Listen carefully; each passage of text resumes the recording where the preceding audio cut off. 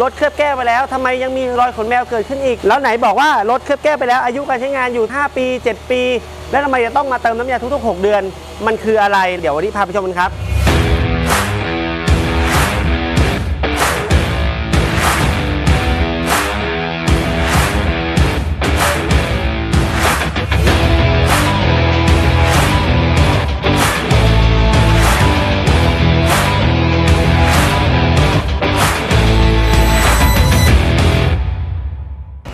สวัสดีครับ ผมอาจารย์โน้ตบ้านคนรักรถนะครับผมวันนี้ผมจะมาตอบคำถามเพื่อนๆนะครับว่ารถที่เคยเคลือบแก้วไปแล้วนะครับหรือเคลือบเซรามิกไปแล้วทำไมถึงจะต้องเข้ามา service ทุก ๆ 6 เดือนนะครับผมซึ่งอธิบายได้อย่างนี้เลยครับปกติแล้วรถที่เราเคลือบแก้วไปแล้วใช่ไหมครับอย่างรถคันนี้นะครับผมเคลือบไปแล้ว 6 เดือน แล้วเรามีการติดตามให้พารถคันนั้นน่ะเข้ามา service ชั้นเคลือบแก้วนั่นเองนะครับผมเพราะรถเคลือบแก้วนะครับไม่ได้ป้องกันทุกสิ่งทุกอย่างในจักรวาลนะครับผมเพราะรถแต่ละคันนั้น ใช้ไม่เหมือนกันนะครับ บางคนใช้น้อย บางคนใช้มาก บางคนล้างรถถูกวิธีผิดวิธีล้างกับ car care ที่ได้มาตรฐาน บางที่ล้างแบบไม่ได้มาตรฐานนะครับรถก็จะเกิดรอยนั่นเองนะครับผม ซึ่งการเคลือบแก้วเคลือบเซรามิกนะครับปกติแล้วน้ำยาของเขาเนี่ยอยู่ติดทนหลายปีนะครับผมแต่ที่บอกว่าต้องเข้ามานัดเติมน้ำยาทุกๆ 6 เดือน จริง ๆ แล้วเราไม่ได้เรียกว่ามานัดเติมน้ำยาทุกๆ 6 เดือนนะครับเราเรียกว่าการสปาชั้นเคลือบนะครับผม หรือบางคนก็เรียกว่าการเซอร์วิสชั้นเคลือบนะครับ ราะว่ารอยและมลภาวะต่างๆ ที่เกิดจากการใช้งานนะครับ อย่างรถคันนี้นะครับ เมื่อเราเดินไปใกล้ๆนะครับ เราจะเห็นว่ามันมีรอยขนแมวอ่อนๆอยู่นะครับ แต่ถ้าเรามองไกลๆเนี่ยรถเนี่ยมันจะเงาแวบสวยงามมากๆเลยนะครับ ซึ่ง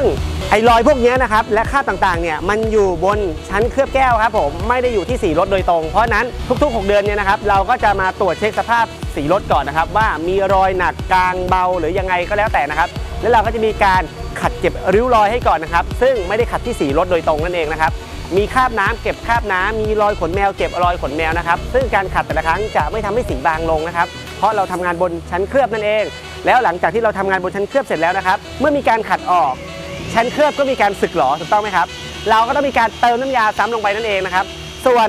ถ้ารถบางคันนะครับ ใช้น้อยมากๆนะครับ ก็ไม่จำเป็นที่จะต้องเข้ามา service maintenance นะครับทุกๆ 6 เดือนบางคันนะครับ ดูแลดีไม่มีริ้วรอย คุณก็ไม่ต้องเติมน้ำยาไม่ต้องขัดนะครับผมน้ำยามีอายุการใช้งานได้ยาวนานหลายปีนะครับแต่เมื่อไหร่ที่มีการขัด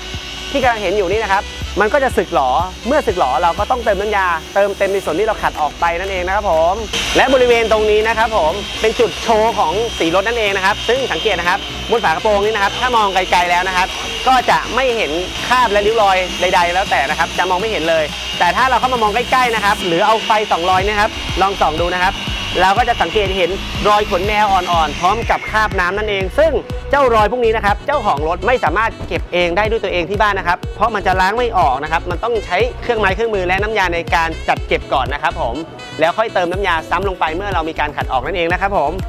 เป็นยังไงกันบ้างครับเพื่อนๆทุกคนรถที่เราเคลือบไปแล้วนะครับ ความคงทนนะครับจริงๆอยู่ได้ถาวรนะครับแต่ริ้วรอยแต่ละคนนั้นมาไม่เท่ากันนะครับอยู่ที่การใช้งานของแต่ละคน เพราะฉะนั้นจำเป็นต้องเข้า service ทุกๆ 6 เดือนไหมปกติแล้ว ถ้ารถดูแลดี ใช้รถดี หรือใช้น้อย มันก็ไม่จำเป็นต้องเข้าบำรุงรักษาทุกๆ 6 เดือน แต่ทางร้านของเรานะครับก็จะมีบริการหลังการขายให้ก็คือจะแถมฟรีไปให้นะครับกี่ครั้งก็แล้วแต่แพ็กเกจนะครับซึ่งถ้ามีแถมไปให้แล้ว เราก็จะมีการนัดตรวจเช็คเติมน้ำยาขัดเก็บริ้วรอยให้อยู่แล้วนะครับส่วนเมื่อหมดแพ็กเกจแล้วเราจะทำต่อหรือไม่ทำต่อก็ได้ น้ำยายังมีอายุการใช้งานต่อไปอีกหลายปีนั่นเองนะครับผม เพราะฉะนั้นถ้าใครนะครับหมดแพ็กเกจแล้วรถเป็นขนแมวเยอะๆแล้ว ไม่จำเป็นต้องเคลือบใหม่นะครับผมเราใช้วิธีการ service maintenance ชั้นเคลือบได้นะครับผมหรือจะเรียกสั้นๆว่าสปาชั้นเคลือบก็ได้นะครับ อย่างที่เรากำลังทำอยู่นี่เอง แล้วไว้พบกันใหม่คลิปหน้านะครับผมวันนี้ลากันไปก่อนครับ สวัสดีครับ